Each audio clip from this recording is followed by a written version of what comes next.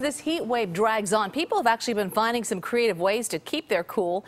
KPIX5's Kiet Do is in the South Bay where some families have taken to frolicking in public fountains. When it comes to beating the heat, there's just something about doing it together. One of the most popular places in the South Bay is at the fountains at Cesar Chavez Park.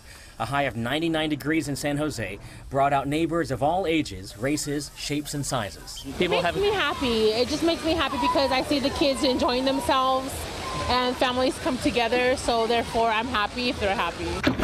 Given the record heat this weekend, we thought we'd try to bake some cookies on the dashboard of a car. Under the windshield, in direct sunlight, it got up to 190 degrees where the frozen cookie dough baked for two hours. Still, it was not hot enough. It's raw? It's raw.